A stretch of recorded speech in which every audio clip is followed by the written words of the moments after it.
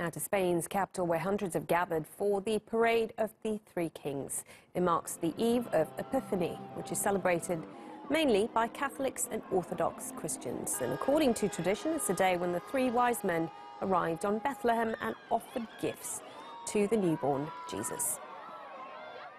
In Mexico, thousands of Catholics and Orthodox Christians have also been celebrating the Three Kings Day by enjoying a mammoth king cake.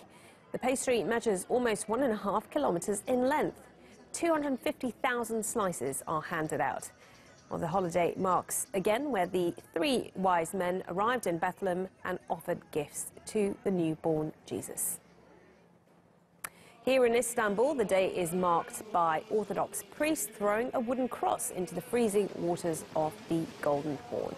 Divers compete to retrieve it.